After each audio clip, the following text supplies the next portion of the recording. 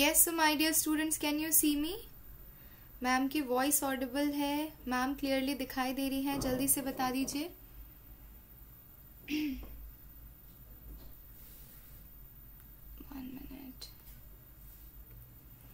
Okay okay okay yes so we can start now yes hello my dear students welcome back to my class myself Saloni Singh और हम कर रहे हैं बच्चा CBSE board examination 2021 की preparation that is your special 15 days challenge जहाँ पर हम केमिस्ट्री को वन शॉट में खत्म करने की कोशिश कर रहे हैं। तो आज है day number two and day number two में आज का हमारा टॉपिक है सोल्यूशन अच्छा अब जितने भी बच्चे नए जुड़ रहे हैं, उनके लिए ये सीधी सीधी बात बता दूँ। कि बेटा ये एक रिविजन क्रैश कोर्स सीरीज़ है। अगर आपने डिटेल में पढ़ लिया है तो आप यहाँ पर आकर इस क्रैश कोर्स में जुड़कर पूरा चैप्टर एक घंटे, डेढ़ घंटे में रिविजन कर सकते हैं, है कि नहीं? है ना? ठीक है? तो ये चीज़ ध्यान रखिएगा। कई बच्चे मुझसे यहाँ पर पूछते हैं कि मैम ये 95 प्लस लाने के लिए काफ़ी है। अगर आपने एक बार पढ़ा है और फिर आप रिवाइज कर रहे हो तो definitely it is very good course to revise क्योंकि ये यहाँ पे मैम सारा कंटेंट एक साथ ले लेती है और आपको बार बार बुक खोल के देखने की ज़रूरत नहीं पड़ेगी, सब कुछ एक साथ एक स्क्रीन पे ले लिया है।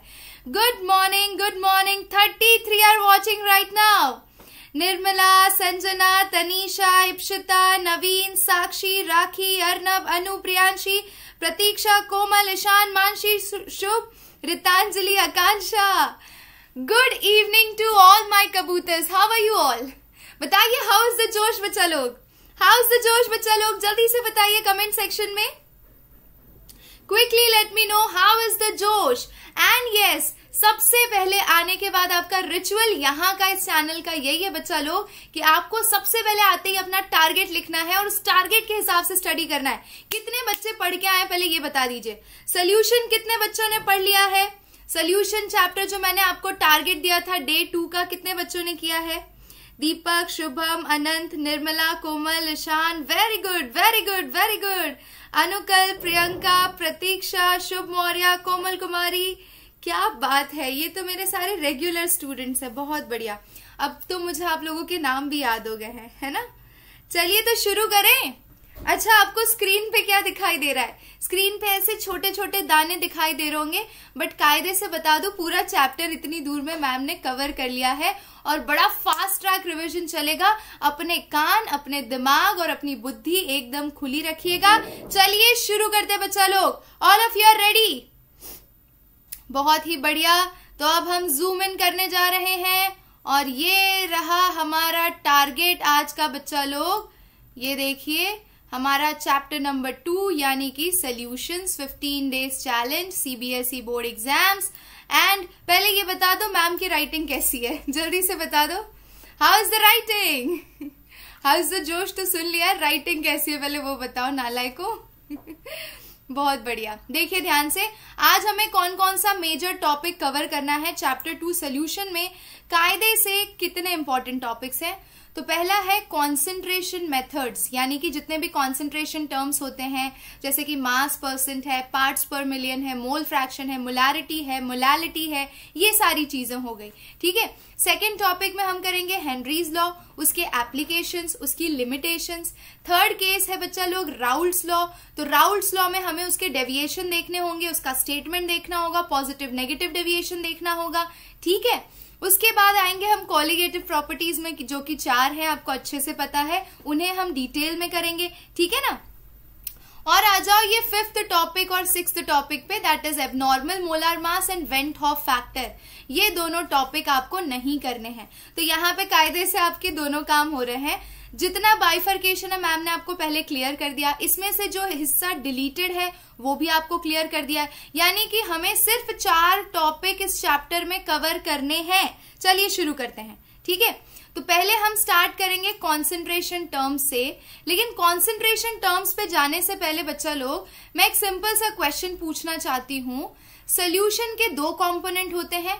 एक होता है सल्यूट और एक होता है, बच्चा लोग solvent correct solute less quantity में होता है, सॉल्वेंट मोर क्वांटिटी में, यानी कि हाई क्वांटिटी में होता है, ये हमें सबको पता है, ठीक है ना? Thank you Pooja thank you so much okay कोई बात नहीं, जिनको क्लियर नहीं दिख रहा, लो जूम इन करते हैं, कोई दिक्कत नहीं है। तो हम चलते हैं टाइप्स ऑफ़ सोल्यूशन पे, इससे पहले कि हम कॉन्सेंट्रेशन टर्म्स पढ़े। Let's move into types of solution और आप लोग एक काम करिए आप अपने फ़ोन को हॉरिजॉन्टल, यानी कि वो रोटेट मोड पे रखिए, वर्टिकल मत देखिए, हॉरिजॉन्टल देखिए तो आपको ज़्यादा क्लियर दिखेगा। ठीक है ना? चलिए, अभी बढ़ते हैं आगे। ये देखिए टाइप्स ऑफ़ सोल्यूशन पे सबसे पहले आ जाते बच्चा लोग, है ना? तो कितने तरह के सोल्यूशन होते हैं? Let's talk about gaseous solution ठीक है? तो अगर आपका सोल्यूट गैस है और सॉल्वेंट गैस है तो वो गैस एंड गैस का मिक्सचर हुआ। Air is the best example for this case ठीक है? तो ऑक्सीजन एंड नाइट्रोजन के मिक्सचर को गैस एंड गैस सोल्यूशन बोलते हैं। वैसे लिक्विड इन गैस हो सकता है तो लिक्विड क्लोरोफॉर्म हो गया और गैस नाइट्रोजन हो गया। सॉलिड इन गैस यहाँ पे आपको याद क्या रखना है? इस टेबल में सिर्फ़ एग्जाम्पल्स याद रखने हैं, ठीक है? और ये एग्जाम्पल्स आपके फिर से रिपीट होंगे कौन से चैप्टर में? सरफेस केमिस्ट्री में यही चीज़ दोबारा रिपीट होने वाली है। ठीक है? ओके लिक्विड लिक्विड सोल्यूशन है आपका तो गैस लिक्विड में हो सकता है, जैसे ऑक्सीजन पानी के अंदर डिजोल्व होता है। लिक्विड इन लिक्विड अल्कोहल पानी के अंदर डिजोल्व होता है। सॉलिड इन लिक्विड ग्लूकोज पानी के अंदर डिजोल्व होता है। है ना? वैसे ही सॉलिड सोल्यूशंस की बात करते हैं। ठीक है? तो अगर गैस सॉलिड के अंदर डिजोल्व है तो ये कहाँ पे देखने को मिलता है? आपने हाइड्रोजनेशन किया है? याद करिए जब आपने टेंथ स्टैंडर्ड पढ़ा था, तब आपने ये देखा था सी डबल बॉन्ड सी और इसका हाइड्रोजनेशन करके प्लैटिनम पैलेडियम की प्रेजेंस में हम इसे सैचुरेटेड कंपाउंड में कन्वर्ट कर देते थे, ठीक है? इस तरह से स्ट्रक्चर बनता था। तो वहाँ पे hydrogen in palladium is an example of gas in solid okay अब लिक्विड इन सॉलिड बच्चा इसका क्या एग्ज़ाम्पल होगा?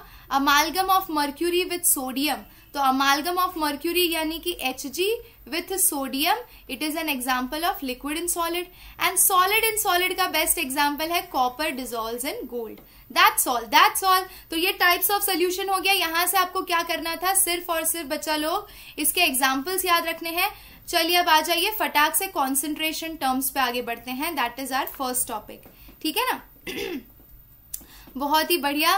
Let's talk about concentration terms बच्चा लोग। अब कॉन्सेंट्रेशन टर्म्स की अगर आप बात करते हैं तो सबसे पहला कॉन्सेंट्रेशन टर्म है मास परसेंट कौन से स्टैंडर्ड से पढ़ते आ रहे हो? टेंथ स्टैंडर्ड से पढ़ते आ रहे हो नाइन्थ स्टैंडर्ड से पढ़ते आ रहे हो। मास परसेंट क्या होता है? Mass of solute upon mass of solution into hundred ठीक है? अच्छा अब ये वेट बाय वेट परसेंट भी हो सकता है। अगर आपका सल्यूट वेट में रिप्रेजेंटेड है एंड वेट ऑफ़ सोल्यूशन भी, यानी कि केजी या ग्राम में रिप्रेजेंटेड है तो उसे वेट बाय वेट परसेंट बोलते हैं। अगर मान लीजिए, वहाँ पर वेट ऑफ़ सल्यूट बच्चा लोग ग्राम में है, और नीचे वॉल्यूम ऑफ़ सोल्यूशन है तो इसे वेट बाय वॉल्यूम परसेंट बोलते हैं। और तीसरा है वॉल्यूम बाय वॉल्यूम परसेंट तो volume of solute upon volume of solution into hundred यानी मास परसेंट को आप तीन तरीकों से एक्सप्रेस कर सकते हो। Is it clear to all of you Sakshi Mimansha Komal, Sahil, Ishan, Tanmay, Pooja, Sapna Sapna Pal very good बच्चा very good mass percent clear है सबको, जल्दी से बता दीजिए। Quick quick quick Sahil, Tanisha, Komal, मेघना, तन्मय, क्या बात है। Very good Rajveer very good चलिए आ जाइए। नेक्स्ट आ जाते हैं पार्ट्स पर मिलियन ये जो ऊपर देखा ना आपने, ये ten raise to power two के अंदर आप सल्यूट की क्वांटिटी मेजर करते हैं। पार्ट्स पर मिलियन में आप टेन टू पावर सिक्स में सल्यूट का कॉन्सेंट्रेशन मेजर करते हैं। यानी कि number of parts of component A upon total number of parts यानी इसको ऐसे भी लिख सकते हैं weight of solute upon weight of solution into ten to power six या volume of solute upon volume of solution into ten to power six यहाँ पे कुछ फिक्स नहीं है कि आप केजी में एक्सप्रेस करेंगे कि वॉल्यूम एमएल में एक्सप्रेस करेंगे इट्स नॉट फिक्स्ड कोई भी एक्सप्रेशन ले लो वॉल्यूम के टर्म्स में हो तो वॉल्यूम के टर्म्स में मास के टर्म्स में तो मास के टर्म्स में, लेकिन हंड्रेड की जगह टेन टू पार सिक्स होगा तो उसे हम क्या बोलेंगे? पीपीएम वेरी गुड चलिए आ जाइए. Let's come to next one that is your third case mole fraction okay तो बच्चा लोग मोल फ्रैक्शन काई इससे डिनोट करते हैं. ठीक है? क्या होता है mole fraction number of moles of solute upon number of moles of solute plus number of moles of solvent ठीक है? अगर मुझे mole fraction of component A निकालना है तो number of moles of A upon number of moles of A plus number of moles of B अगर आपका solution binary है, यानी सिर्फ़ दो ही कंपोनेंट है बच्चा लोग। सिर्फ़ दो ही कंपोनेंट है तो N A plus N B N भी आएगा। अगर मान लीजिए चार पाँच कंपोनेंट है तो उन सबका सम आएगा, है ना? ये तो सबको पता है? जल्दी से बताइए, ये तो सबको पता है ना? हाँ जी वेरी गुड तो मोल फ्रैक्शन में जितने भी कंपोनेंट होते हैं एक सोल्यूशन के अंदर, उन सबका सम कितना होता है? That is equal to one that's all mole fraction भी सिंपल था. अब आ जाइए next we will come to molarity ढिंक चिका ढिंक चिचा शुभम गुप्ता, प्रतीक्षा पांडे, जीशान अली, सत्या यादव वेरी गुड देखिए तो मोलारिटी को कैपिटल एम से डिनोट करते हैं। यूनिट क्या है? मोल पर लीटर या फिर इसे कैपिटल मोलार भी बोलते हैं। ठीक है?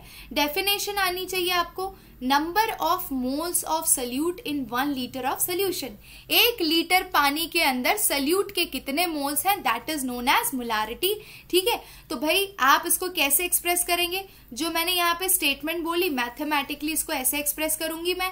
और अगर मुझे इसे और डिटेल में लिखना है तो I can I can write number of moles is equals to weight of solute upon weight of weight of solution sorry number of moles of solute is equal to weight upon molar mass of solute into thousand upon volume in ML ठीक है? बहुत ही बढ़िया। अच्छा ये तो आपको पता होगा, लेकिन आपको ये वाला केस नहीं पता है। ये बहुत ही शॉर्टकट वाला एक फॉर्मूला है। कई जगह पे क्या होता है ना क्वेश्चन में मास परसेंट दिया होता है और डेंसिटी दी होती है। तो आप कंफ्यूज हो जाते हो कौन सा यूज़ करें। तो percentage into density into ten upon molar mass ये भी मोलारिटी निकालने के लिए आप फॉर्मूला यूज़ कर सकते हो तो लिख लेना अच्छे से, ठीक है? अब आ जाते हैं मोलालिटी की तरफ़। बच्चा लोग मोलालिटी किससे डिनोट करते हैं? स्मॉल एम से। क्या बोलते हैं? मोलाल यूनिट क्या है? मोल पर केजी डिफाइन कैसे करते हैं? Number of moles of solute per KG of solvent वहाँ पे पर लीटर था यहाँ पे पर केजी है वहाँ पे पर लीटर ऑफ़ सोल्यूशन था यहाँ पे पर केजी ऑफ़ सॉल्वेंट है।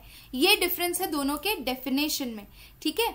शिवम राज आपको इन फॉर्मूलाज की पहले तो डेफिनेशन याद करनी पड़ेगी डेफिनेशन याद करनी ही पड़ेगी क्योंकि डेफिनेशन भी आता है। देखिए uh, 2017 में क्वेश्चन आया था define mass percent mass percent mole fraction and molarity ये आया था तीन मार्क में तो आप अगर स्टेटमेंट याद नहीं रखोगे तो फिर कोई मतलब नहीं है। स्टेटमेंट आपको याद ही रखना पड़ेगा। Formula then you can write accordingly ठीक है? Your subscribers are spreading faster day by day then corona सब आप लोगों की कृपा है Harsh. Thank you so much आप लोग स्प्रेड करोगे तो स्प्रेड होगा नहीं करोगे तो नहीं होगा। एंड uh, मैं चाहती हूँ कि आप लोग स्प्रेड करो, नालायक। को ऐसी डिज़ीज़ स्प्रेड हो जाती है तो अच्छी चीज़ें तो स्प्रेड ही होनी चाहिए ना। हाय राम आईफोन है? अच्छा चलो यहाँ ध्यान दो। Molality number of moles of solute अच्छा देखो, मैं इसको शॉर्ट में लिखती तो number of moles of solute upon weight of solvent in KG ठीक है? ये इसके स्टेटमेंट का मतलब हो गया। अब नंबर ऑफ़ मोल्स को मैं कैसे एक्सप्रेस कर सकती हूँ? तो weight of solute upon molar mass of solute into ये हो गया वेट ऑफ़ सॉल्वेंट ठीक है? तो ये सॉल्वेंट हो गया केजी है, अगर ग्राम में एक्सप्रेस करना है तो ऊपर थाउज़ेंड से मल्टीप्लाई कर दो। हो गया आपका फॉर्मूला ठीक है ना? क्लियर है? जल्दी से बताओ बच्चा लोग क्लियर है यहाँ तक? सिर्फ़ पाँच एक्सप्रेशन थे। ओनली फाइव कॉन्सेंट्रेशन टर्म्स जो आपको याद रखने थे, और इसी के साथ हमने फ़र्स्ट टॉपिक बच्चा लोग कंप्लीट कर लिया है। First topic is done all of you are clear with this first topic let me know quickly in the comment section OP hashtag OP लिखिए। चलिए, बहुत बढ़िया। है ना? तो मैम ने इसी के साथ यहाँ पे आपके कॉन्सेंट्रेशन मेथड्स आपके कंप्लीट किए हैं। कौन कौन से कंप्लीट किए? मास परसेंट मास परसेंट में weight by weight weight by volume volume by volume then parts per million then mole fraction then molarity and then molality that's all very good now let's come to second topic that is your Henry's law आ जाइए Henry's law की तरफ़ चलते हैं। मज़ा आएगी Henrys law का ना concept यहाँ पे पूरा चार्ट के फॉर्म में आपको एक्सप्लेन करने वाली हूँ तो आपके बड़े मज़े आने वाले देखो ध्यान से।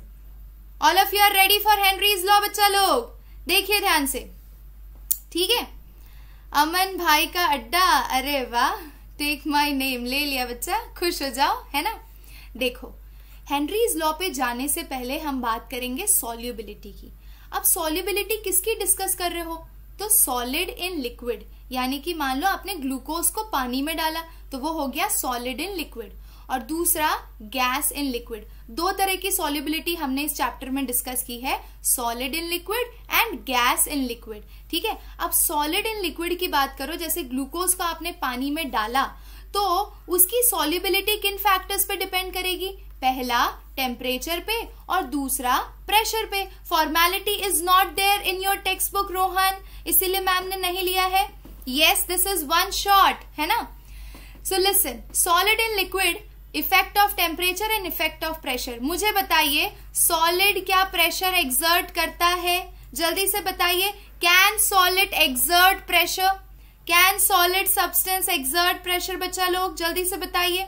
Quickly in the comment section can solid exert pressure no solid तो प्रेशर एग्जर्ट कर ही नहीं सकता। यानी सॉलिड इन लिक्विड की सॉल्युबिलिटी प्रेशर पे बिल्कुल डिपेंड नहीं करती है। तो किस पे डिपेंड करती है? टेम्परेचर पे डिपेंड करती है। अब टेम्परेचर भी किस हिसाब से फॉलो होता है?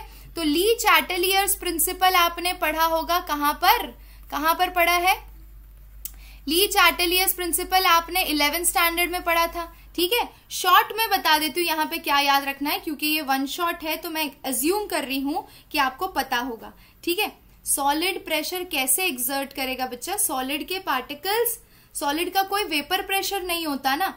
वो चीज़ें प्रेशर एक्सर्ट करती है जिनका वेपर प्रेशर होता है। सॉलिड के पार्टिकल्स प्रेशर एक्सर्ट नहीं कर सकते because they are not moving कौन प्रेशर एक्सर्ट करता है? जिसके पार्टिकल्स कंटिन्यूसली मूव हो रहे होते हैं।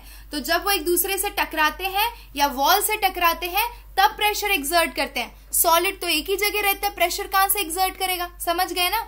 ठीक है। अब चैटलियस प्रिंसिपल मैं एक्सप्लेन नहीं कर रही हूँ शॉर्ट में बता रही हूँ।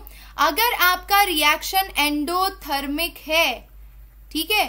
तो टेम्परेचर इंक्रीज करने पर सॉल्युबिलिटी इंक्रीज होगी, ये मार्क कर लीजिए। और अगर आपका रिएक्शन एक्सोथर्मिक है तो टेम्परेचर इंक्रीज करने पर सॉल्युबिलिटी घटेगी। ठीक है? ये हो गया ली चैटलियस प्रिंसिपल के हिसाब से हमारा स्टेटमेंट ठीक है ना? बहुत ही बढ़िया। अब नीचे आ जाइए। Let's talk about solubility of gas in liquid ठीक है? Solubility of gas in liquid वो भी दो फैक्टर्स पे डिपेंड करता है प्रेशर पे और टेम्परेचर पे। अब क्योंकि गैस इन लिक्विड है तो गैस तो प्रेशर एक्सर्ट करेगा। तो यहाँ पे प्रेशर फैक्टर इज़ इंपॉर्टेंट ठीक है? तो प्रेशर को आप किससे गवर्न करेंगे? प्रेशर का वेरिएशन सॉल्युबिलिटी पे गैस इन लिक्विड पे कैसे आता है, वो स्टडी करने के लिए हमारे पास है हेनरीज लॉ ठीक है? अब चलिए हेनरीज लॉ डिटेल में देखते हैं। हेनरीज लॉ का स्टेटमेंट वेरी इंपॉर्टेंट बहुत बार, बहुत सारे साल के पेपर में आया हुआ है। Can't mention you all the years 2013 में था 2018 में भी था। तो हेनरीज लॉ का स्टेटमेंट वेरी इंपॉर्टेंट ठीक है? ध्यान दीजिए।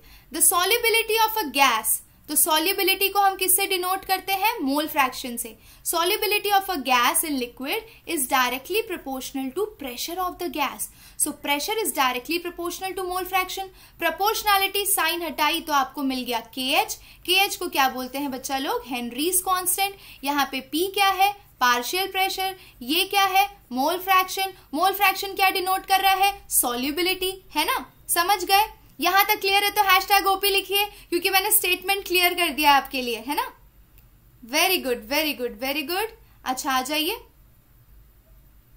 ओके अब ये देखिए, यहाँ पे ये जो हेनरीज कांस्टेंट है ना, बच्चा लोग के एच वन मार्क में आपका एमसीक्यू हो सकता है कि भाई, अगर के एच की वैल्यू हाई है तो सॉल्युबिलिटी हाई होगी या लो होगी? तो ये तीनों चीज़ें आपको याद रखनी है। आपका जो के एच यानी हेनरीज कांस्टेंट है it is inversely proportional to solubility K H की वैल्यू जितनी हाई होगी सॉल्युबिलिटी उतनी कम होगी. लेकिन आपका जो हेनरीज कांस्टेंट है, वो टेम्परेचर के साथ डायरेक्टली प्रोपोर्शनल है. यानी तापमान बढ़ता है तो हेनरीज कांस्टेंट बढ़ता है. इन शॉर्ट हम बोल सकते हैं कि टेम्परेचर बढ़ने के साथ सॉल्युबिलिटी घटती है किस केस में? गैस इन लिक्विड के केस में टेम्परेचर बढ़ाने पे सॉल्युबिलिटी घटती है और यहाँ से क्वेश्चन आता है कि why aquatic animals are more comfortable in why aquatic animals are more comfortable in cold water more comfortable in cold water अब आपको आंसर पता है? है ना? कोल्ड वाटर में क्यों कंफर्टेबल होता है बच्चा लोग? है ना? सिंपल है। क्योंकि हमें पता है कि भैया पानी के अंदर क्या होता है? डिजोल्व ऑक्सीजन यानी कि गैस इन लिक्विड है। ठीक है? और आपका ऑक्सीजन जैसे ही तापमान बढ़ेगा, उसकी सॉल्युबिलिटी पानी में कम हो जाएगी। तो तापमान जितना कम हो ऑक्सीजन की सॉल्युबिलिटी उतनी हाई होगी। और आपके जैसे, हमारे जैसे छोटी छोटी मछलियाँ जो पानी में होती है, वो आराम से सांस ले पाएँगी। समझ गए ना? वेरी गुड वेरी गुड इच्छा तिवारी। क्या बात है। तो आप लोग तो बड़े स्मार्ट हो गए हो। तो ये तीनों फैक्टर याद रखना, तीनों फैक्टर इंपॉर्टेंट है आपके एमसीक्यूज या वन मार्क के क्वेश्चन के लिए। चलिए, अब हम हेनरीज लॉ के एप्लीकेशन पे चलेंगे। लेट जूम इन ढिंक चिका, आ जाओ। ये जूम इन किया, ये आपके टेक्स्ट बुक के एप्लीकेशन से जरा ध्यान दीजिएगा। ठीक है? तो हमें पता है प्रेशर बढ़ाने पे सॉल्युबिलिटी बढ़ती है। इसीलिए हम क्या करते हैं हाई प्रेशर पे कार्बन डाइऑक्साइड गैस को पेप्सी और कोका कोला की बोतल में फिल करते हैं। है ना? पता है ना? खोलोगे, जब आप बोतल खोलते हो तो प्रेशर रिलीज़ होता है। प्रेशर रिलीज़ होता है तो गैस की सॉल्युबिलिटी कम होती है और सारा गैस बाहर आ जाता है। लेकिन जब तक प्रेशर मेंटेन रखते हो, वो डिब्बे के अंदर, पानी के अंदर सॉल्युबल रहता है। ठीक है? तो ये हो गया एक तरीका। दूसरा क्या हो गया, देखिए। दूसरा एप्लीकेशन है स्कूबा डाइवर्स का बच्चा लोग अब ये बड़ा मस्त एग्ज़ाम्पल है, जरा ध्यान से सुनिएगा। ठीक है? ये रहा हमारा स्कूबा डाइवर ढिंक चिका चलो, पानी में चलते हैं। इसने गोता मारा, यहाँ पे पानी में गया। पानी में तैर रहा था बच्चा लोग, और इसके पीछे एक सिलेंडर लगा हुआ था। सिलेंडर में क्या भरा था? H2 एंड नाइट्रोजन गैस का एक सिलेंडर है। ऑक्सीजन भी होगा उसमें। ठीक है? अब सुनो ध्यान से। होता क्या है? पानी के अंदर जैसे ही जाओगे ना, पानी के अंदर जाओगे तो प्रेशर बढ़ेगा या घटेगा? पानी के अंदर जाओगे बच्चा लोग तो प्रेशर बढ़ेगा या घटेगा? स्वयं बिश्नोई नवीन, सपना, पूजा, मेघा, तनिषा, अक्षया, इच्छा वेरी गुड क्या बात है। जल्दी से बताइए quick quick quick very good पानी के अंदर जाने पर प्रेशर बढ़ेगा। यानी कि जो भी सिलेंडर लिया होगा उन्होंने, उसके अंदर जो भी गैस होगा जब वो पानी के अंदर डीप में जाएँगे तो उस गैस की सॉल्युबिलिटी हमारी बॉडी में बढ़ जाएगी, ठीक है? तो सिलेंडर के अंदर आपने ऑक्सीजन, नाइट्रोजन और हीलियम का मिक्सचर लिया था, ठीक है? तो ऑक्सीजन की सॉल्युबिलिटी बढ़ी, वो तो फ़ायदा हुआ, लेकिन नाइट्रोजन की सॉल्युबिलिटी बढ़ी तो डर लगने लगेगा। क्यों? क्योंकि जब वो आदमी अब बाहर आएगा, देखो पानी के अंदर था, तब तक तो ठीक था, अब वो बाहर निकलेगा, बच्चा लोग जब वो बाहर निकलेगा तो क्या होगा? प्रेशर घटेगा, और अगर प्रेशर घटेगा तो अब सॉल्युबिलिटी भी घटेगी। सॉल्युबिलिटी घटेगी तो नाइट्रोजन धीरे धीरे ब्लड में से बाहर निकलने की कोशिश करेगा। और अगर नाइट्रोजन ब्लड में से बाहर निकलने की कोशिश करेगा तो ये आपका ब्लड वेसल है। देख रहे हो? अगर वो फटाफट बाहर निकलेगा तो निकलते वक्त बुलबुले बना लेगा और वो बुलबुले की वजह से ब्लड का जो फ्लो है, वो रेस्ट्रिक्ट हो जाएगा। और अगर ब्लड का फ्लो रेस्ट्रिक्ट हो गया बच्चा लोग तो आपको होगा दर्द। और इस डिज़ीज़ को कहा जाता है बेंड्स डिज़ीज़ बहुत ही पेनफुल और डेंजरस है। Is it clear very good very good bubbles के फॉर्म में जब वो बाहर आएगा ना तो it causes a lot of pain it restrict the flow of blood ठीक है ना? क्लियर है बहुत ही बढ़िया। चलिए अभी नीचे बढ़ते हैं। Let's see third case that is high altitude तो जब आप uh, ये पहाड़ पे चढ़े ठीक है? पहाड़ पे partial pressure of oxygen is low ठीक है ना? तो ऑक्सीजन का पार्शियल प्रेशर लो हो जाएगा तो आपके बॉडी के अंदर उसकी सॉलिबिलिटी लो हो जाएगी। सॉलिबिलिटी लो हो गई। तो भैया, आपको क्या होगा? बताओ क्या होगा? चक्कर आएँगे वीकनेस होगा, उल्टी जैसा लगेगा, समझ में नहीं आएगा, दिमाग कंफ्यूज रहेगा। इस कंडीशन को कहते हैं एनोक्सिया तो ये तीनों बढ़िया एप्लीकेशन हो गए आपके हेनरीज लॉ के। अगर एग्ज़ाम में आए तो लिख देना। देखो state Henry's law right it's application five marks में क्वेश्चन है that's all I think Henry's law is clear to all of you we have finished बच्चा लोग second topic also second topic is done Henry's law Henry's constant solubility और हमने देख लिया temperature पे वो कैसे डिपेंड करता है। यानी इन शॉर्ट हमारा हेनरीज लॉ डन है। वेरी गुड वेरी गुड तो यहाँ पर अब अपने मेन टेबल पे आ जाते हैं। हमने सेकेंड टॉपिक भी उड़ा दिया। अब हम बढ़ेंगे थर्ड टॉपिक की तरफ़। That is your Raoult's law कौन सा लॉ राउल्स लॉ बहुत इंपॉर्टेंट है। चलिए आ जाइए। Let's come to Raoult's law बच्चा लोग। ढिंक चिका। आहा ये देखो। दिख रहा है? स्क्रीन पे क्लियर दिख रहा है? जल्दी से बताइए। ओहो ये बात। हाँ जी। अब राउल्स लॉ, बच्चा लोग, समझने के लिए आपको क्या क्या चीज़ें पहले समझनी पड़ेगी। ये देखिए, ये आपका कंटेनर है, ठीक है? कंटेनर ढका हुआ है ऊपर से और इसके अंदर पानी है, ठीक है? पानी को कंटिन्यूसली आप उबाल रहे हो तो वो किसमें कन्वर्ट होगा? वेपर में, ठीक है? अब वेपर तो बाहर निकल नहीं सकता तो वेपर किस पे एग्जर्ट करेगा प्रेशर अगर तुमने ढक्कन क्लोज रखा है तो वो वेपर तो अंदर ही है। तो वेपर फिर क्या करेगा? लिक्विड की सरफेस पे प्रेशर एग्जर्ट करेगा। So the pressure exerted by vapour on the liquid surface is known as vapour pressure is it clear to all of you okay, और जूम कर देते हैं, कोई दिक्कत नहीं है, लीजिए। ये बात हाँ अभी सही है? ओके, चलिए, बहुत बढ़िया बहुत बढ़िया। Okay so the pressure exerted by vapour on the liquid surface is known as vapour pressure and vapour pressure is inversely proportional to solute अगर मान लीजिए, ये आपके पास एक कंटेनर है और ये दूसरा कंटेनर है, इसमें मैम ने नमक मिलाया है और ये सादा पानी है ओरिजिनल वाटर है। एंड ये वाटर विथ नमक है। बताइए वेपर प्रेशर किसका हाई होगा? कंटेनर ए का या कंटेनर बी का? Quickly let me know Tanisha, Pooja, Ishaan, Zeeshan, Megha, Arnab very good Komal Kumari, Sakshi yes I am waiting for your response क्या बात है, पढ़ के आयो नालायक को खुशी मिल रही है मैम को बड़ा, है ना? Yes under equilibrium Ichha Tiwari correct you are absolutely correct very good container B के अंदर वेपर प्रेशर हाई होगा, क्योंकि नमक के जो मॉलिक्यूल्स हैं, वो पानी के मॉलिक्यूल को आसानी से वेपर फॉर्म में कन्वर्ट नहीं होने देंगे। इसीलिए वेपर प्रेशर कम होगा, अगर सल्यूट ज़्यादा होगा तो। सल्यूट कैसा होना चाहिए? वॉलेटाइल होना चाहिए बच्चा लोग या नॉन वॉलेटाइल सल्यूट कैसा होना चाहिए? वॉलेटाइल या नॉन वॉलेटाइल ए आंसर जो भी दे रहा है, गलत दे रहा है। आंसर बी होगा, ठीक है? Very good very good bends avoid कैसे होगा? बेंड्स डिज़ीज़ को अवॉइड करने के लिए बच्चा, हम नाइट्रोजन को हीलियम से रिप्लेस करते हैं। नाइट्रोजन एटम की साइज़ बड़ी होती है। हम थोड़े छोटे साइज़ के एटम्स को प्लेस करते हैं ऑक्सीजन के साथ, ठीक है? नॉन वॉलेटाइल सल्यूट आपका कैसा? नम अरे नालायको इसमें वॉलेटाइल कौन आंसर दे रहा पीटूँगी, पिटाई हो जाएगी। नमक आपने कभी घर पे रखा है? डब्बा अगर खुला छूट गया तो क्या नमक सब उड़ जाता है? बताओ, नमक को कभी उड़ते हुए देखा है? पानी उड़ते हुए देखा होगा, नमक कभी उड़ता है? तो नहीं उड़ता तो नॉन वॉलेटाइल हुआ ना? अगर उड़ जाता तो वॉलेटाइल होता। ठीक है ना? बहुत बढ़िया।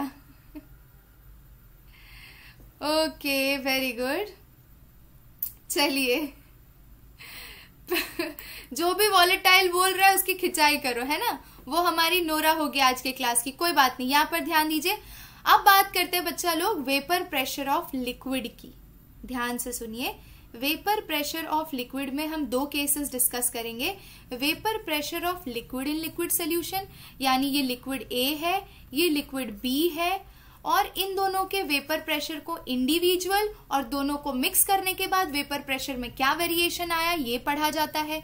और दूसरा पढ़ते हैं vapour pressure of solution of solid in liquid यानी ये लिक्विड है और ये सॉलिड है लिक्विड को सॉलिड में डाला तो वेपर प्रेशर में क्या वेरिएशन आया? ये दो कंडीशन हम स्टडी करते हैं, ठीक है? और हम बीच में क्या पढ़ेंगे? Raoult law is a special case of Henry's law तो चलिए अब राउल्ट लॉ पे डिटेल में चलते हैं, देखिए ध्यान से। ठीक है बच्चा लोग? Let's come to Raoult law पहले आपका स्टेटमेंट क्लियर होना चाहिए, है ना? In solution of volatile liquids यानी आपका कंटेनर ए और कंटेनर बी दोनों का लिक्विड वॉलेटाइल होना चाहिए। अगर लिक्विड वॉलेटाइल नहीं होगा तो क्या उसका वेपर प्रेशर होगा? बहुत कम होगा। इसीलिए हम दोनों लिक्विड वॉलेटाइल चूज़ कर रहे हैं। स्टेटमेंट में हर टर्म का एक अलग इंपॉर्टेंस होता है। ठीक है ना? चलिए। तो in solution of volatile liquid the partial vapour pressure of each component is directly proportional to mole fraction मान लो मैं कंटेनर ए का निकालना चाहती हूँ पार्शियल प्रेशर तो partial pressure is equal to उसका जो origin actually P A is directly proportional to mole fraction तो प्रोपोर्शनैलिटी हटाओगे तो पी नॉट ए आएगा। PB is directly proportional to chi B तो PB is equal to PB naught chi B ये दोनों चीज़ें आती है आपको, है ना? क्या बात है बहुत ही बढ़िया। अच्छा Raoult law of partial pressure की बात कर Dalton law of partial pressure की बात कर लेते हैं। तो P total is equal to sum of the partial pressure of each component अगर ये आपका कंटेनर है और इसके अंदर पाँच गैस हैं तो सबके पार्शियल प्रेशर को ऐड करोगे आप। P1, P2, P3, P4 तो that is your P total तो Dalton law of partial pressure वही स्टेट करता है है ना? अच्छा अर्नब वॉलेटाइल नॉन वॉलेटाइल फिर से बताओ वॉलेटाइल वो जो आसानी से उड़ जाता है। नॉन वॉलेटाइल वो जो चुपचाप बैठा रहता है। जैसे कि नमक देखो तो नमक वैसा वैसा का वैसा ही रहता है। लेकिन अगर आपने एसिटोन लिया है या पेट्रोल लिया है, अगर उन लिक्विड के कंटेनर को खुला छोड़ दोगे, वो आसानी से एस्केप कर जाएगा, है ना? ठीक है? बहुत ही बढ़िया। चलिए, अभी नीचे चलते हैं। तो आपको अच्छे से पता है बच्चा लोग कि दो तरह के सोल्यूशन होते हैं। एक होता है आइडियल सोल्यूशन और एक होता है नॉन आइडियल सोल्यूशन ठीक है? आइडियल सोल्यूशन वो होता है जो राउल्ट लॉ को ओबे करता है। ठीक है? अब भैया, बताओ, एक बात बताओ। जैसे आइडियल स्टूडेंट्स जैसे आइडियल स्टूडेंट्स रियल लाइफ में एग्जिस्ट नहीं करते, वैसे ही आइडियल सोल्यूशन भी रियल लाइफ में इतने एग्जिस्ट नहीं करते हैं। ध्यान से सुनो। आइडियल सोल्यूशन क्या हुआ? जो राउट्स लॉ को एंटायर रेंज ऑफ़ कॉन्सेंट्रेशन पे फॉलो कर ले, वो आइडियल सोल्यूशन है। उसका P A is equal to P A naught का A P B is equal to P B naught का बी अगर मैंने कंटेनर ए और कंटेनर बी के लिक्विड को मिक्स किया तो मिक्स करने के बाद वॉल्यूम में कोई चेंज नहीं आता है और एंथैल्पी में भी कोई चेंज नहीं आता है। जो टेम्परेचर पहले था, वही टेम्परेचर है। ना हीट गेन हुआ, ना हीट लॉस हुआ। इतना सुंदर, शुद्ध, शाकाहारी आइडियल सोल्यूशन होता है। समझ गए ना? Okay ma'am where you an ideal solution were you an ideal solution देखो, मैं बताती हूँ। मैं टेंथ तक आइडियल सोल्यूशन थी, यानी कि आइडियल स्टूडेंट थी।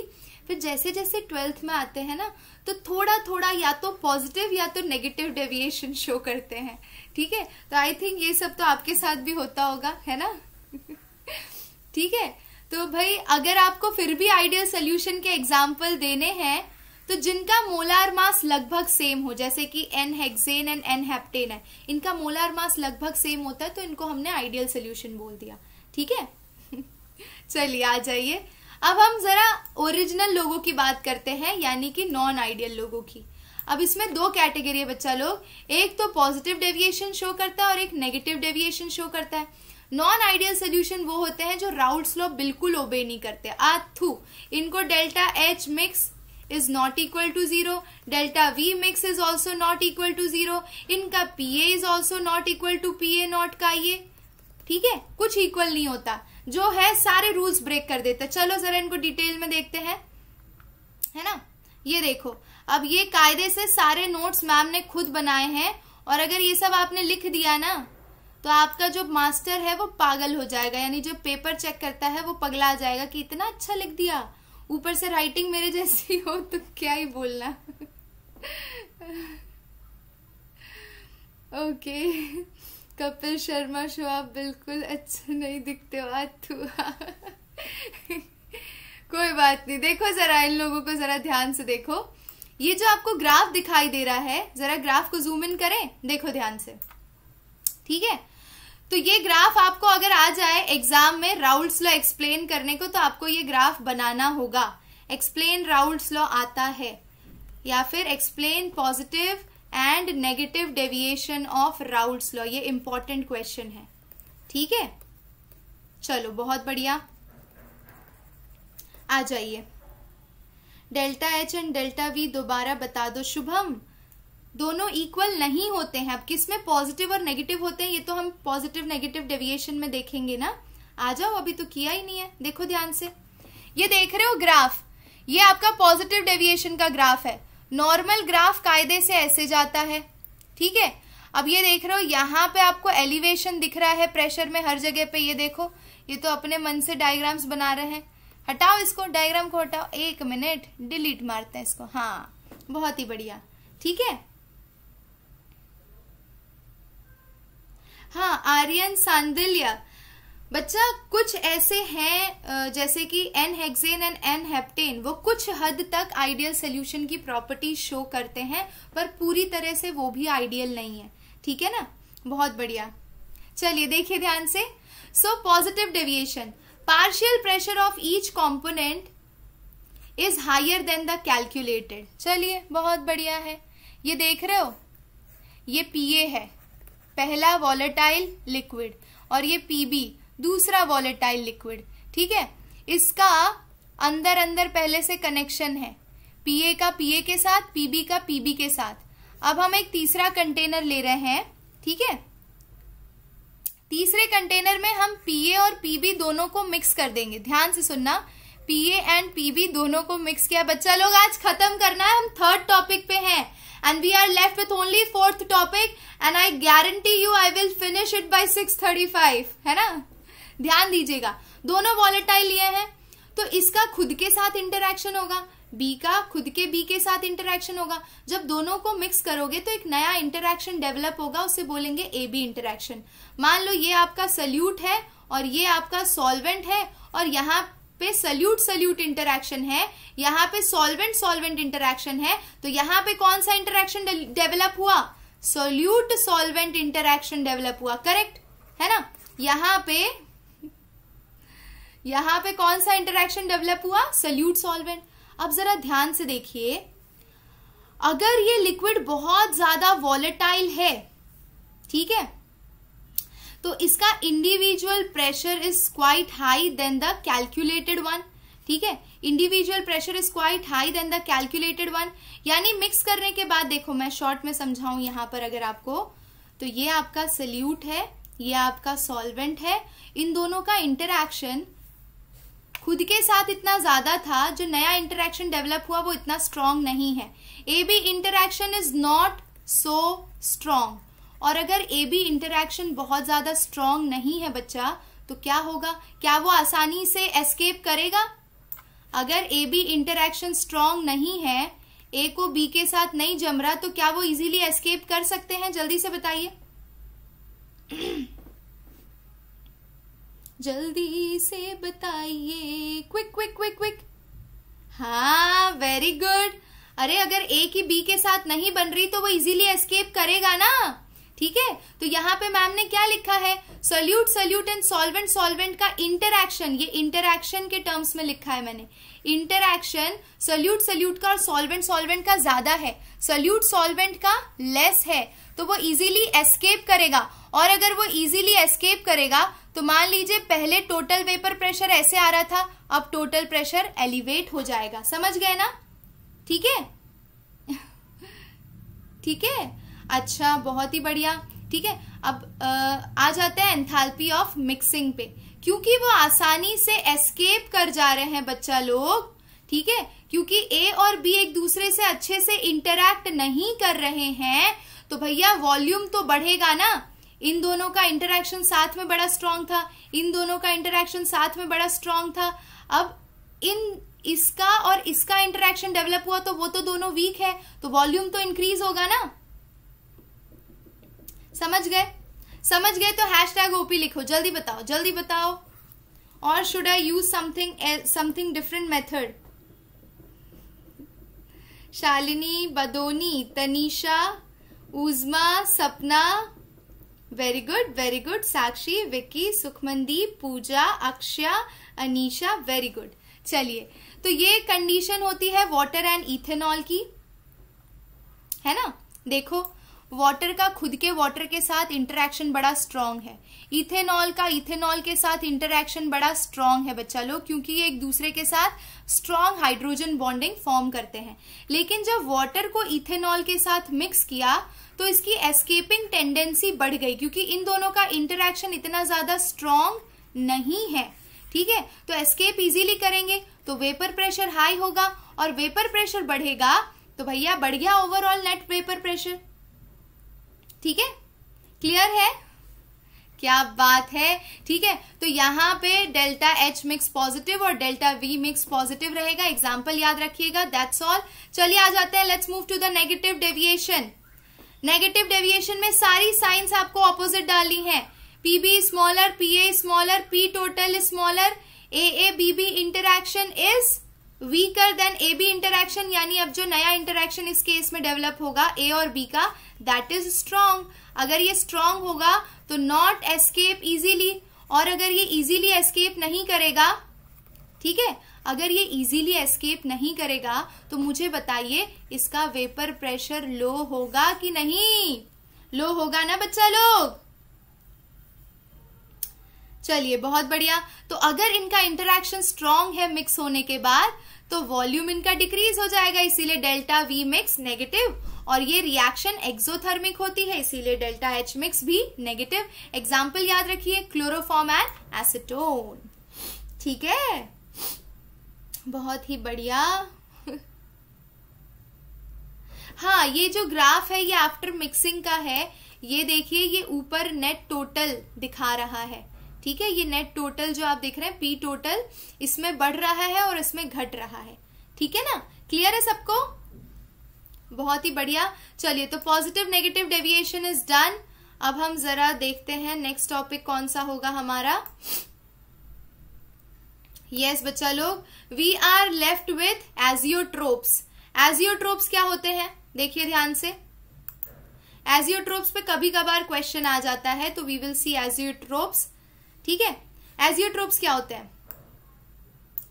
Liquid mixture which distilled without change in composition अब ध्यान दीजिएगा इसका क्या मतलब है। है ना? Azeotropes are constant boiling mixture यानी अगर आपने इथेनॉल और वाटर को मिक्स किया बच्चा लोग तो आपको पता है इथेनॉल का बॉइलिंग पॉइंट कुछ और है। वाटर का बॉइलिंग पॉइंट 100 डिग्री सेल्सियस होता है। इथेनॉल का मान लीजिए अप्रोक्सीमेटली 80 डिग्री सेल्सियस होता है। ठीक है? लेकिन अगर इनको एक डेफिनेट प्रपोर्शन में मिक्स किया गया तो ये दोनों मिक्सचर एक लिक्विड कंपोनेंट की तरह बिहेव करेंगे, ये अलग अलग की तरह बिहेव नहीं करेंगे। यानी एजियोट्रोपिक मिक्सचर वो है, जिसको अगर आप हीट भी करें तो आप इथेनॉल और वाटर को अलग अलग एक्सट्रैक्ट नहीं करेंगे। You will obtain it as a single liquid they can not be separated by distillation also that are known as azeotropes अब एजियोट्रोप में एक होता है मिनिमम बॉइलिंग एजियोट्रोप एक होता है मैक्सिमम बॉइलिंग एजियोट्रोप ठीक है? Minimum boiling azeotrope positive deviation show करता है। एग्ज़ाम्पल देख लीजिए इथेनॉल प्लस वाटर और negative deviation nitric acid plus water composition important है। इसी कॉम्पोजिशन में वो एजियोट्रोप की तरह बिहेव करेगा, नहीं तो नहीं करेगा। ठीक है? क्लियर है? Constant boiling point it has very good correct बहुत ही बढ़िया। चलिए, अब एजियोट्रोप्स भी आपके क्लियर हो गए तो now we can move to our fourth topic that is our colligative properties चलिए, आ जाइए let's come to colligative properties my dear students ठीक है, चलिए देखिए कॉलिगेटिव प्रॉपर्टीज़ किस पे डिपेंड करती है? लास्ट टॉपिक है है ना? देखो कॉलिगेटिव प्रॉपर्टीज़ किस पे डिपेंड करती है बच्चा लोग? नंबर ऑफ़ पार्टिकल्स पे। नंबर ऑफ़ पार्टिकल्स जितने ज़्यादा होंगे कॉलिगेटिव प्रॉपर्टी आपकी उतनी हाई होगी, ठीक है? जितनी भी कॉलिगेटिव प्रॉपर्टी आप देख रहे हो, उसकी प्रॉपर्टी आपको स्टडी करनी है या वेरिएशन स्टडी करना है based on addition of non volatile solute ठीक है? Zubaida Khatoon they can not be separated as you trap are those and by the fractional method बहुत ही बढ़िया। हाय मुझे एक बात बताओ। तुम लोगों को रियलाइज़ हो रहा है कि आपने इतना बड़ा chapter and you are about to end this chapter मतलब लगभग आप लास्ट टॉपिक पे पहुँच गए हो और ये भी मैम अभी फटाफट निपटा देगी क्योंकि इसमें कुछ इंपॉर्टेंट पॉइंट्स आपको याद रखने हैं। ठीक है? चलिए, बहुत बढ़िया। देखिए ध्यान से। सबसे पहले बात करेंगे एलिवेशन इन बॉइलिंग पॉइंट की। तो पहले बॉइलिंग पॉइंट की आपको डेफिनेशन आनी चाहिए। बॉइलिंग पॉइंट क्या होता है? तो ये देखिए, अगर ये मेरा कंटेनर है बच्चा लोग, ठीक है, इसमें अगर पानी उबल रहा है, और इस उबलने के बाद यहाँ पे वेपर प्रेशर जनरेट हुआ, और अगर ये वेपर प्रेशर एटमॉस्फियरिक प्रेशर के इक्वल हो गया vapour pressure if it becomes equal to atmospheric pressure then it is known as boiling point boiling point की नई डेफिनेशन देखी आपने? है ना? Very good. So, the temperature at which vapor pressure of liquid becomes equal to atmospheric pressure कोई मुझे बताएगा normal atmospheric pressure कितना है हमारे अर्थ का? अर्थ का एटमॉस्फेरिक प्रेशर कितना है बच्चा लोग जल्दी से बताइए। Great great great great quick quick quick yes Naveen इसको, इसको टाइम लगता है ना मेरे को दो घंटे चले जाते हैं इसको पूरा कंपाइल करने में आप लोगों के लिए है ना? 1 ATM very good absolutely correct 1 ATM is the correct answer तो जो भी लिक्विड आप बॉइल कर रहे हो, उसका वेपर प्रेशर अगर एटमॉस्फेरिक प्रेशर जो कि अप्रोक्सीमेटली 1 एटीएम रहता है, उसके इक्वल हो गया तो वो आपका बॉइलिंग पॉइंट होगा। Let's talk about elevation in boiling point ठीक है? तो elevation in boiling point that is delta TB and delta TB is equal to boiling point of solution minus boiling point of pure solvent अब इसका क्या मतलब है? तो पहले तुमने सादा पानी लिया था तो वो प्योर सॉल्वेंट हो गया। ठीक है? अब उस पानी के अंदर आपने नमक डाल दिया। नमक के डालते ही उसका बॉइलिंग पॉइंट बदल जाएगा तो वो हो जाएगा बॉइलिंग पॉइंट ऑफ़ सोल्यूशन तो elevation in boiling point is equal to boiling point of solution minus boiling point of pure solvent दोनों को सब्ट्रैक्ट करना होगा। तब डेल्टा टीबी निकलता है। यहाँ पे बहुत सारे बच्चे मिस्टेक करते हैं न्यूमेरिकल में। तो ये पॉइंट बहुत ही ज़्यादा इंपॉर्टेंट है। ठीक है? अच्छा experimentally it is found that बच्चा लोग, देखो, एक और चीज़ बता देती हूँ। Vapour pressure is inversely proportional to boiling point higher is the vapour pressure lower is the boiling point ये भी याद रखना। ठीक है? अच्छा delta TB is equal to K B into M ये है एलिवेशन इन बॉइलिंग पॉइंट का relation with molality delta TB is equal to K B into molality को क्या लिखते हो? Weight of solute into thousand upon molar mass of solute into weight of solvent ठीक है? और एक और फॉर्मूला है। ये कभी कभी यूज़ हो जाता है। K B is equal to R into M A into TB square upon thousand into enthalpy of vaporisation M A क्या है यहाँ पे? Molar mass of solvent TB क्या है? Boiling point TB boiling point है कैल्विन में। ठीक है? केबी आपका क्या है? यहाँ पे ये जो केबी देख रहे हो, ये कांस्टेंट है। इसको आप इब्यूलोस्कोपिक कांस्टेंट या फिर elevation in boiling point constant भी कहते हैं। ठीक है? इसको यूज़ करेंगे हम न्यूमेरिकल के टाइम पे।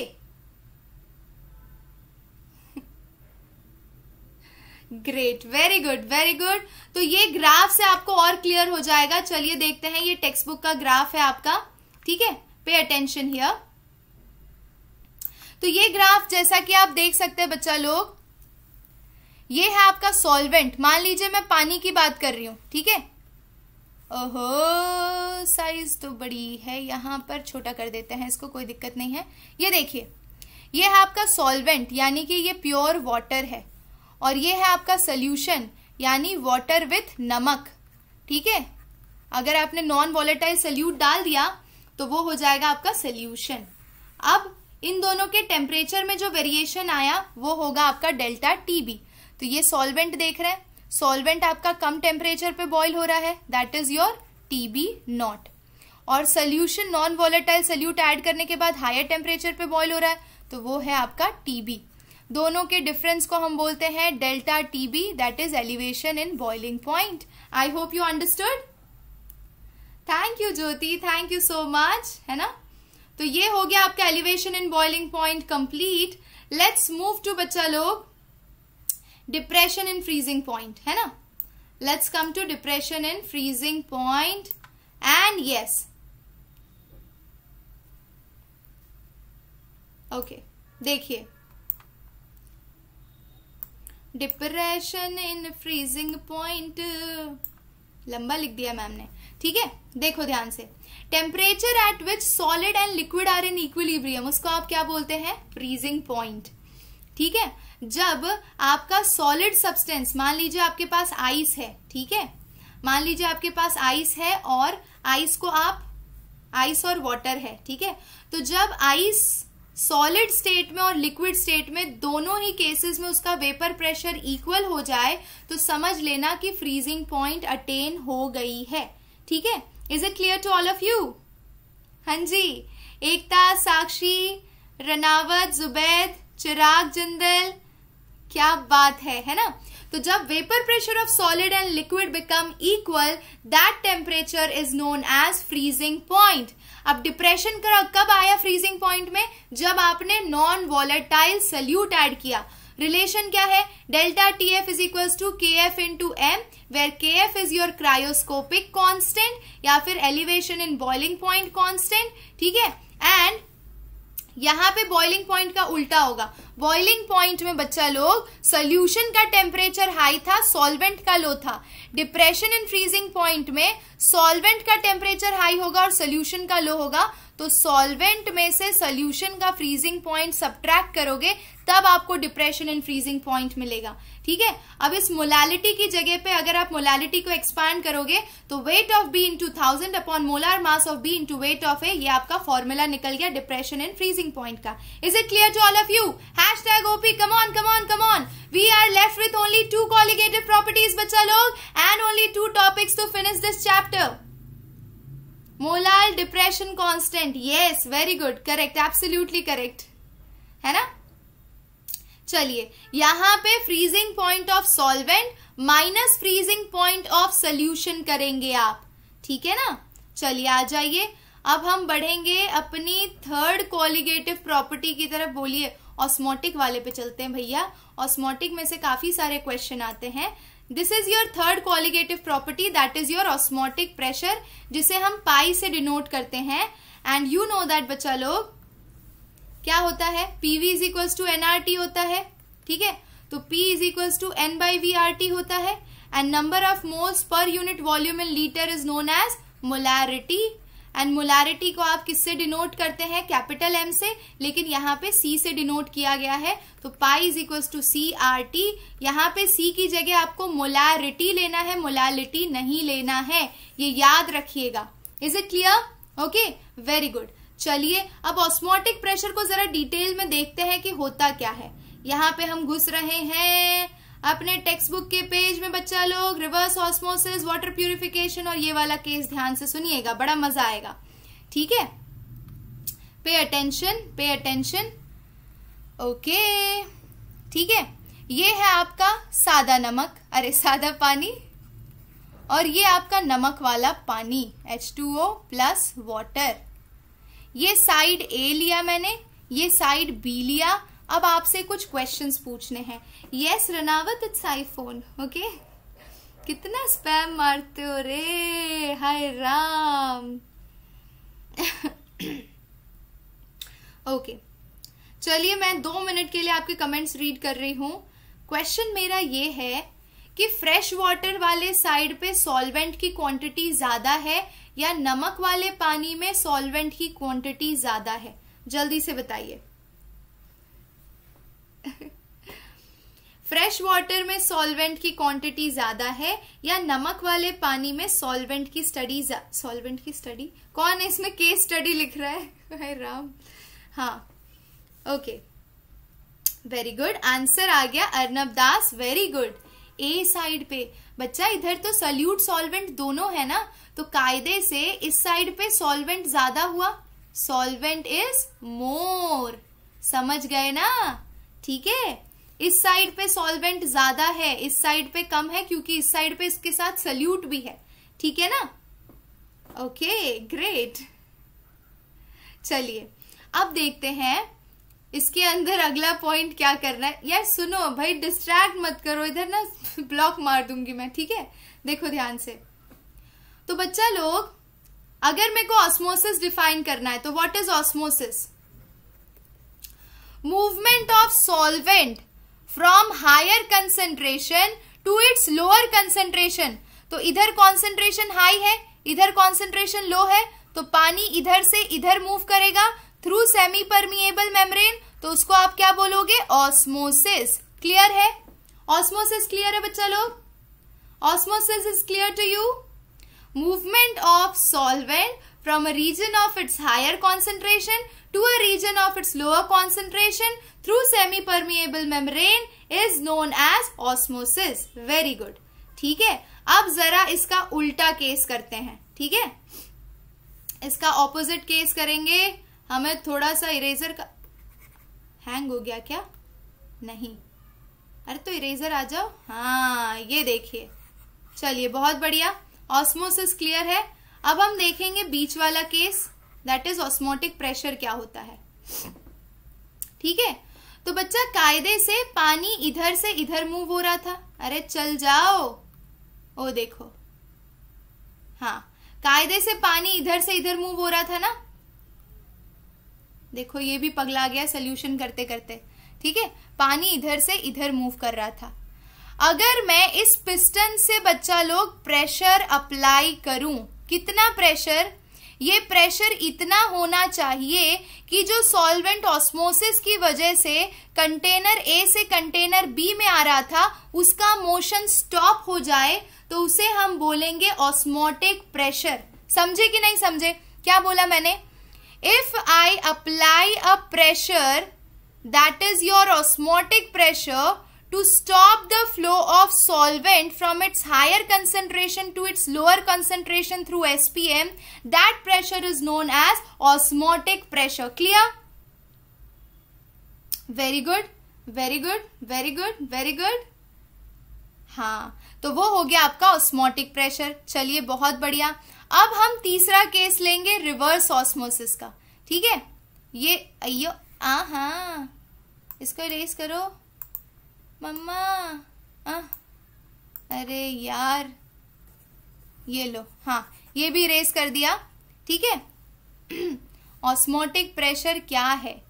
जब पानी फ्रेश वाटर से सॉल्ट वाटर की तरफ़ मूव कर रहा था तो हमने यहाँ से जो प्रेशर अप्लाई किया ताकि इसका मोशन यानी कि सॉल्वेंट पार्टिकल का मोशन स्टॉप हो जाए उसे हमने बोल दिया ऑस्मोटिक प्रेशर ठीक है? अब देखिए रिवर्स ऑस्मोसिस पे आ जाते हैं। तो रिवर्स ऑस्मोसिस क्या है? ठीक है? When a pressure greater than osmotic pressure is applied अगर इस पिस्टन से मैं ऑस्मोटिक प्रेशर से भी ज़्यादा प्रेशर अप्लाई करती हूँ तो ये इधर के सॉल्वेंट पार्टिकल को भी धक्का मार के उधर भेज देगा। समझ रहे हो? अगर मैं यहाँ पे इतना ज़्यादा प्रेशर अप्लाई करूँ, जो कि ऑस्मोटिक प्रेशर से भी हाई है तो ये तो कंटेनर बी के जो सॉल्वेंट पार्टिकल है, उसको ढकेल के फ्रेश वाटर वाली साइड पे भेज देगा। समझ रहे हो ना? इच्छा तिवारी, कोमल, आशीष, पूजा, एकता हैश टैग ओपी हाँ तो यही चीज़ होती है आरओ वाटर फिल्ट्रेशन में, बच्चा लोग। यहाँ पे नमक वाला पानी ले लिया। और प्रेशर ऑस्मोटिक प्रेशर से ज़्यादा अप्लाई कर दिया। यहाँ पे सेमी परमिएबल मेम्ब्रेन ले लिया। तो इस प्रेशर की वजह से इधर के सॉल्वेंट पार्टिकल धकेल के फ्रेश वाटर वाली साइड पे चले जाएँगे। ठीक है? तो रिवर्स ऑस्मोसिस का ये प्रैक्टिकल एप्लीकेशन हो गया। It is use in desalination of sea water portable water बनाने के लिए यूज़ किया जाता है। है ना? हेमा मालिनी का एडवर्टाइज करेक्ट लेकिन वो बच्चा लोग, वो और भी कुछ ऐड करती है। क्या ऐड करती है? एडेड मिनरल्स इसमें तो बहुत सारे मिनरल्स फ़िल्टर हो जाते हैं। ठीक है? कोबाल्ट जो कि बी ट्वेल्व के लिए चाहिए होता है, पानी में होता है, यहाँ पे वो फ़िल्टर हो जाता है रिवर्स ऑस्मोसिस में। इसीलिए कई लोगों को आजकल बी ट्वेल्व की डेफिशिएंसी देखने को मिलती है। है ना? चलो, बहुत बढ़िया। तो हमारा ऑस्मोसिस रिवर्स ऑस्मोसिस और ऑस्मोटिक प्रेशर तीनों टर्म्स क्लियर है। अब पता है, सिर्फ़ तीन टर्म्स रह गए बच्चा लोग। कौन से तीन टर्म्स रह गए हैं? हाइपरटोनिक हाइपोटोनिक आइसोटोनिक सोल्यूशन ये तीनों चीज़ बताऊँगी और आपका चैप्टर हो जाएगा ओवर ठीक है? आ जाओ। ये देखो। हाँ जी। पहले तो यहाँ से एक वन मार्क का क्वेश्चन आता है, वो मार्क कर लीजिए। ठीक है? यहाँ पे एक क्वेश्चन आता है कि भैया osmotic pressure method has the advantage over other method as pressure measurement is around the room temperature and the molarity of the solution is use instead of molality ठीक है? तो कायदे से यहाँ से ये क्वेश्चन आता है कि why osmotic pressure why osmotic pressure is use to measure is use to measure molar mass of protein measure molar mass of protein या फिर कोई भी बायोमोलिक्यूल जो आपकी बॉडी में है, उसका मोलार मास निकालने के लिए हम ऑस्मोटिक प्रेशर का प्रयोग क्यों करते हैं? ठीक है? क्योंकि अच्छा देखो, बाकी केसेस में वैल्यूज़ आपकी इतनी हाई आती है ना, ठीक है? तो the technique of osmotic pressure for determination of molar mass of solute is particularly useful for biomolecules as they are generally not stable at higher temperature and polymers have poor solubility तो ये दोनों factors की वजह से हम इसे use करते हैं बायोमोलिक्यूल्स का मोलर मास निकालने के लिए। वेरी गुड चलिए, अब hypertonic hypotonic and isotonic solution मैं डिटेल में नहीं जाऊँगी। मैं शॉर्ट में बताती हूँ। ये मेरे पास तीन सेल हैं बच्चा लोग। मान लीजिए यहाँ पे कॉन्सेंट्रेशन हाई है। ठीक है? कॉन्सेंट्रेशन हाई होने का मतलब क्या है? यहाँ पे सॉल्वेंट लो होगा ना? कॉन्सेंट्रेशन हाई होने का मतलब सॉल्वेंट बाहर लो है और सॉल्वेंट अंदर हाई है। ठीक है? तो movement of solvent particle from its higher concentration to its lower concentration ये सोल्यूशन कैसा है? हाइपरटोनिक हाइपरटोनिक में बाहर ज़्यादा कॉन्सेंट्रेशन होता है, अंदर कम कॉन्सेंट्रेशन होता है। ठीक है? तो बाहर कॉन्सेंट्रेशन हाई होने का मतलब उसमें सल्यूट ज़्यादा होगा और सॉल्वेंट की क्वांटिटी कम होगी और अंदर सॉल्वेंट ज़्यादा होगा तो ऑस्मोसिस को आप हमेशा सॉल्वेंट के टर्म्स में डिफाइन करते हैं। तो अंदर अगर सॉल्वेंट ज़्यादा होगा तो सॉल्वेंट हाई से लो कॉन्सेंट्रेशन की तरफ़ आएगा तो पानी अंदर से बाहर निकलेगा और सेल आपका श्रिंक हो जाएगा। समझ रहे हो? सेल आपका श्रिंक हो जाएगा। क्लियर है?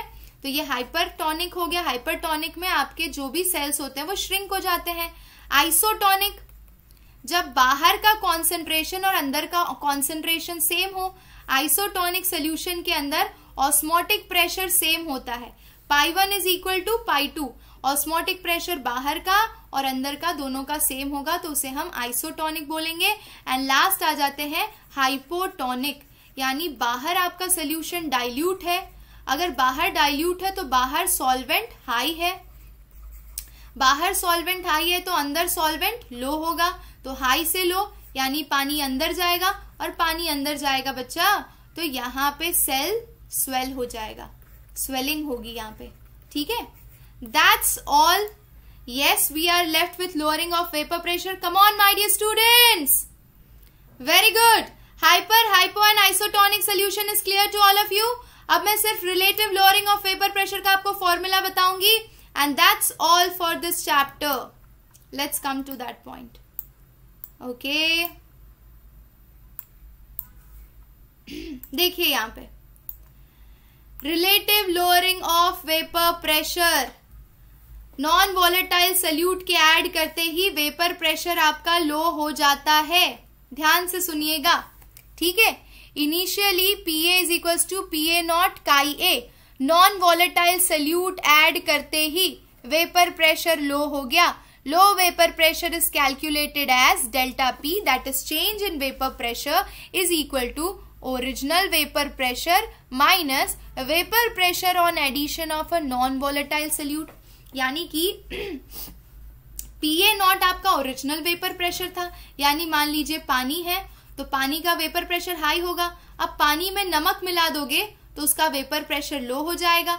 तो मुझे चेंज इन वेपर प्रेशर निकालना है तो मैं पानी और नमक वाले पानी के वेपर प्रेशर को सब्ट्रैक्ट करूँगी। तो delta P is equal to P A naught minus P A ये हो गया पी ए नॉट और पी ए को क्या लिख सकते हैं आप बच्चा लोग? This P A can be written as P A naught का ये तो पी ए नॉट का ये अब दोनों टर्म में से पी ए नॉट कॉमन निकालिए, क्या बचा? वन माइनस का ये सो डेल्टा पी अपॉन, इसको नीचे ले जाइए। Delta P upon P A naught is equal to chi B chi B is your mole fraction of second component ठीक है? तो this is delta P is lowering of vapour pressure जब delta P को P A not से divide कर दोगे तो उसे बोलेंगे relative lowering of vapour pressure that is equal to chi B chi B को क्या लिख सकते हो? N two upon N one plus N two अगर सोल्यूशन डाइल्यूट है तो आप किसको निग्लेक्ट कर सकते हो? N2 के कॉन्सेंट्रेशन को इग्नोर कर सकते हो और फिर अपना फॉर्मूला लिख सकते हो where number of moles of component B can be written as weight of B upon molar mass of B and number of moles of A can be written as weight of A upon molar mass of A. That's all and with this we finish the chapter ठीक है? Chapter की सारी theory ma'am ने खत्म करवा दी है। अब हम बढ़ते हैं न्यूमेरिकल्स पे। If you are ready to solve the numericals let me know in the comment section ठीक है? मेजरली इस चैप्टर में से कहाँ से न्यूमेरिकल्स आते हैं, वो भी मैम आपको बता देती है। देखिए ध्यान से। ज़्यादातर क्वेश्चन क्वालिगेटिव प्रॉपर्टी पे या फिर मैक्स टू मैक्स आपके हेनरीज लॉ से होंगे। ठीक है? अब आपका चैप्टर तो पूरा खत्म हो चुका है। I hope you understood hashtag OP लिखो। और ये क्वेश्चन सॉल्व करना स्टार्ट करो। जिसको आता है वो सॉल्व करे, तब तक मैं आपके कमेंट्स रीड करती हूँ because I am continuously speaking ठीक है? Where we will get notes please tell Chirag Jindal मैं आपसे टेलीग्राम लिंक जल्द शेयर करती हूँ, है ना? डोंट वरी ओके चलिए, बहुत ही बढ़िया। अरे, सब करेंगे, बस एक काम करना। बच्चा, ये सब चीज़ों में मेहनत लगती है, ठीक है? तो मैम, सारी सीरीज़ लाएगी, पहले एक सीरीज़ कंप्लीट करने दो। पंद्रह दिन में पहले हमारा केमिस्ट्री खत्म करने दो। उसके बाद हम सैंपल पेपर्स भी करेंगे केस स्टडी भी करेंगे असर्शन रीजन भी करेंगे। डिटेल में ऑर्गेनिक चाणक्य नीति पर चल ही रही है हमारी। ठीक है ना? ओपी मतलब over power anybody is solving question number one anybody is solving question number one yes बच्चा लोग? फ़र्स्ट क्वेश्चन कितने बच्चे सॉल्व कर रहे हैं? ऑल इंडिया 2013 का क्वेश्चन है। स्टार्ट करें। सॉल्व करना। हेनरीज लॉ पर भी हम न्यूमेरिकल करेंगे। मैम ने यहाँ पे सारे इंक्लूड किए हैं। क्योंकि इस बार i van't Hoff factor included नहीं है तो बहुत सारे न्यूमेरिकल्स ऐसे ही आपके कट डाउन हो जा रहे हैं और आपके डायरेक्ट फॉर्मूला बेस्ड क्वेश्चन है। तो पहला क्वेश्चन देखिए। आपके पास one gram of non electrolyte solute है। ध्यान से देखिएगा। Dissolve in 50 gram of benzene lower the freezing point of benzene by this यानी कि lowering in freezing point delta T F is equals to zero point four zero kelvin है। K F दिया है five point one to ठीक है? तो delta T F is equals to K F into M चलिए formula लगाइए। और मुझे आंसर बताइए, कितने लोगों का आ रहा है? So delta T F is equals to K F into weight of B into thousand upon molar mass of B into weight of A चलिए वैल्यूज़ प्लेस करिए बच्चा लोग। Yes, all these questions are important, very important questions. अगर आपके board exam में question आते हैं तो इसी तरह के क्वेश्चन होंगे, इसमें सिर्फ़ वैल्यूज़ चेंज कर दी जाएँगी। ठीक है? या तो आपको डिप्रेशन इन फ्रीजिंग पॉइंट या एलिवेशन इन बॉइलिंग पॉइंट या ऑस्मोटिक प्रेशर पे क्वेश्चन होगा, या फिर max to max Henry's law तक जा सकते हैं वो लोग। ठीक है? क्वेश्चन देखना है? लो, देखो। यहाँ पे अब तो डायरेक्ट वैल्यू प्लेस करनी वैल्यूज़ तो मैंने आपको सारी निकाल के दे दी ना यहाँ पे। चलिए, जल्दी वैल्यूज़ प्लेस करिए। तो हमें मोलार मास ऑफ़ सल्यूट निकालना है, यानी कि weight of B that is equals to delta T F into molar mass of B into weight of A upon K F into thousand ठीक है? चलिए वैल्यूज़ रखिए। Quickly very good Naveen previous years question सारे लगा लिए तो बहुत अच्छी बात है। आप प्रीवियस ईयर्स के क्वेश्चन में वेंट ऑफ़ फैक्टर यानी अगर वहाँ पे आई यूज़ हुआ है या एबनॉर्मल मोलार मास हुआ है तो वो सेक्शन आप सारे स्किप कर सकते हैं, वो सारे क्वेश्चन है ना? किसका आंसर आ गया?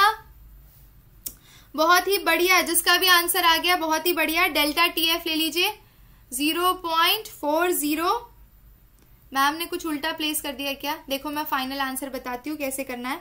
M B is equal to five point one two into one into thousand upon zero point four zero into fifty two fifty six आएगा आपका आंसर ठीक है?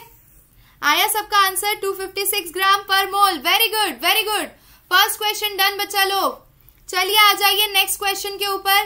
Try this on your own boiling point दिया है आपको benzene का. यहाँ पे अब इसको इस साइड पे करते हैं. चलो आ जाओ. Question number two boiling point दिया है. Boiling point of benzene is given to you try it on your own Rupa Kumari theory में बच्चा राउल्स लॉ हेनरीज लॉ का statement reverse osmosis osmosis osmotic pressure ये सारी चीज़ें याद रखनी है। और फिर इस चैप्टर में से एक न्यूमेरिकल तो कंफर्म आएगा ही आएगा। या तो फ्रीजिंग पॉइंट पे या तो बॉइलिंग पॉइंट पे। ठीक है?